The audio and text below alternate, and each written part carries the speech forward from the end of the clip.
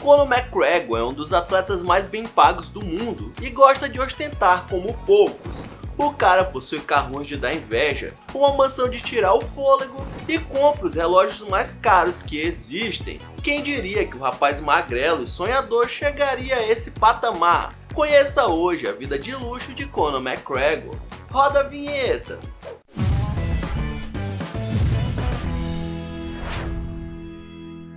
Aí pessoas do YouTube, eu me chamo Ronan Santos e bem-vindos a mais um vídeo do canal Manac X. E mano, se você não tem um campeonato mundial de UFC, já deixa o seu like, se inscreva no canal pra dar uma força, fechado? Então é isso, bora pro vídeo.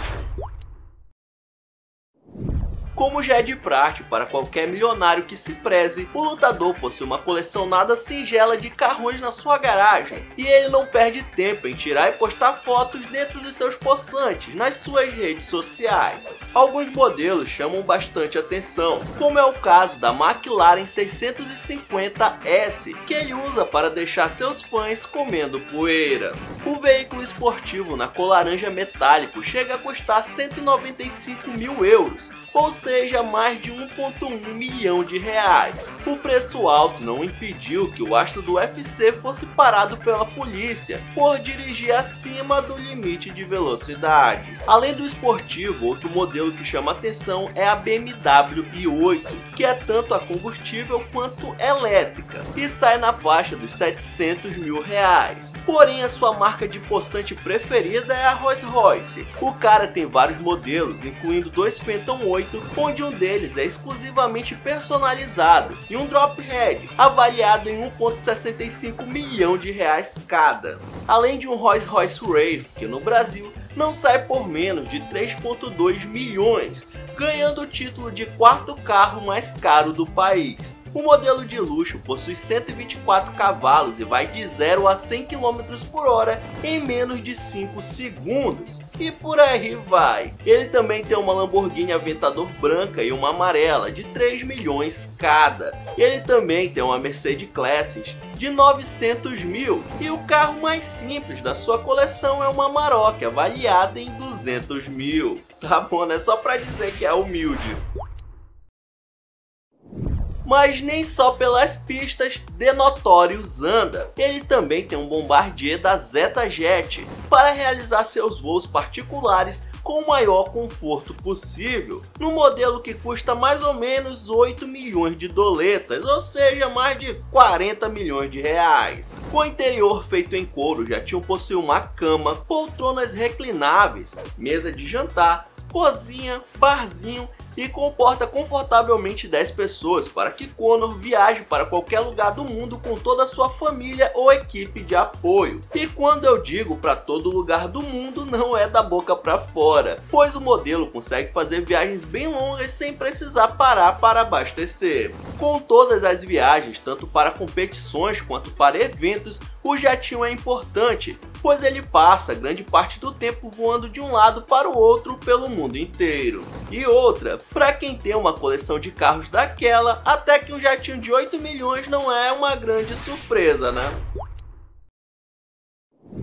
Se eu disser que Conor McGregor não perde tempo para gastar dinheiro, não vou estar exagerando, pois um dos seus objetos preferidos de compra são os relógios. Ele possui uma coleção de Rolex que compraria todas as nossas casas sem maiores problemas. Ele tem um Oyster Perpetual de 1963, considerado por muitos uma joia por sua raridade e por ser inteiro de ouro, que vale 35 mil reais. Outro relógio famoso famoso é o Day-Date 40 na versão platina, que custa a bagatela de 39 mil euros ou convertendo para reais 223 mil. Mais um dos seus preferidos é o Yacht Master 2, com o mesmo preço do anterior quando foi lançado, mas que deve custar bem mais hoje em dia por não ser mais fabricado. É meu amigo, se não pararmos por aqui, nós vamos ficar falando o vídeo todo só dos seus relógios.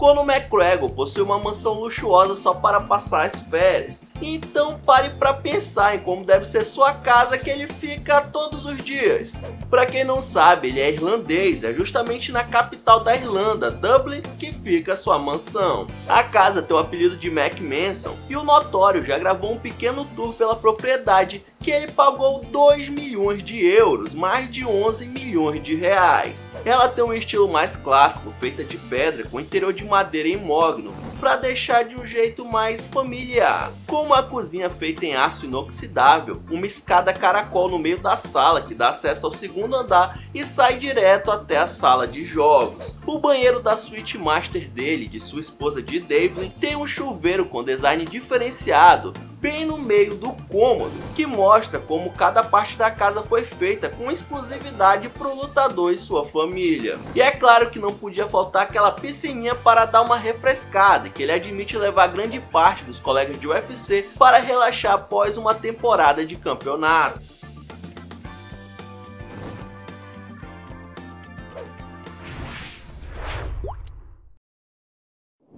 Diferente de alguns ricaços por aí, quando McGregor não faz a linha do discreto. Ele exibe sua fortuna postando foto de seus carros e fazendo tour pela sua casa. Uma outra prática muito comum são suas festinhas particulares só com a presença de pessoas de alto nível e alguns sortudos por aí. Ele costuma fechar as melhores e maiores boates do mundo todo e promover festas de tirar o fôlego com comida e bebida, tudo na conta do lutador.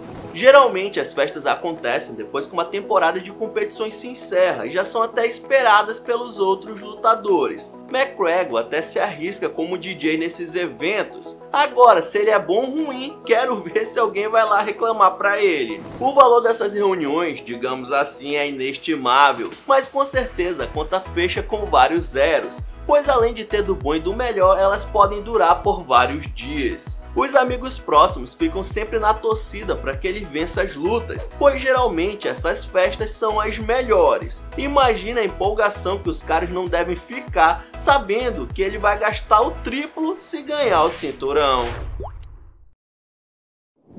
Conor possui em sua conta uma fortuna avaliada em 50 milhões de dólares, quase 260 milhões de reais, e isso sem incluir suas posses como casa, carro, jatinho e por aí vai. Ele recebe de 3 a 5 milhões de trumps por ano só com o UFC, mas quando ganha grandes lutas esse valor fica bem mais alto. Em 2017, por exemplo, Conor levou para casa 85 milhões por conta da batalha histórica contra Mayweather, e olha que ele perdeu, hein? Em 2018, suas lutas renderam 47 milhões. Tudo isso fez com que ele superasse em grana grandes estrelas do UFC como Anderson Silva e John Jones juntos. Ele também fundou uma marca de whisky irlandês chamada Proper Number 9, que vendeu no ano de lançamento mais de 200 mil unidades, e tudo isso sem contar com presença VIP em festas, comerciais e campanhas publicitárias. Hoje em dia ele é um dos atletas mais bem pagos da história, superando inclusive Neymar, que vale 90 milhões, e o astro do MMA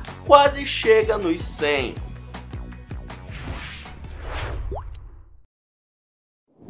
Nem sempre a vida de esbanjar dinheiro foi uma realidade para Conor. Como disse, ele nasceu na Irlanda, numa família de classe média baixa. Seu pai era operário em uma fábrica e não apoiava a ideia do filho seguir a carreira no esporte. Por isso, fez com que Conor trabalhasse como encanador ainda adolescente. Porém, o rapaz persistiu e continuou treinando e participando de competições regionais. Em 2008, ele finalmente se iniciou no MMA e chamou a atenção por ter uma temporada de estreia onde acumulou 4 vitórias e 2 derrotas. Nada mal para o iniciante. Em 2011, ele realizou o feito incrível de ter 8 vitórias consecutivas, sendo 7 nocautes e uma finalização. Isso fez com que Conor subisse no ranking e participasse de um documentário sobre MMA europeu. Em 2013, o UFC finalmente anunciou que havia fechado um contrato com Conor, que logo mostrou a que veio, vencendo 12 lutas, sendo que 11 delas foi por nocaute no primeiro round. Depois disso, foi conquista conquista atrás de conquista. O lutador ficou conhecido pelas suas provocações extravagantes